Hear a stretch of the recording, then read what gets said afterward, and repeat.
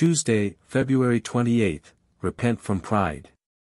Deuteronomy 9 verse 4, 5a, 6a, Do not say in your heart when the Lord your God has driven them out before you, because of my righteousness the Lord has brought me in to possess the land, but it is because of the wickedness of these nations that the Lord is dispossessing them before you, it is not for your righteousness or the uprightness of your heart.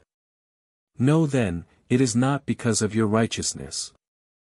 How easily, how glibly, we love to quote, I am the righteousness of God. 2 Corinthians 5 verse 21. But here in Deuteronomy the Lord could not have been more clear, it is not because of your righteousness. Any righteousness is not of ourselves, it is, in Him, the part of 2 Corinthians 5 verse 21 we tend to leave off. To claim that anything we have has come to us on our own efforts, and not from God's mercy, is the worst kind of pride. Rather, it is the gift of God, not as a result of works, so that no one may boast, Ephesians 2, 8b, 9.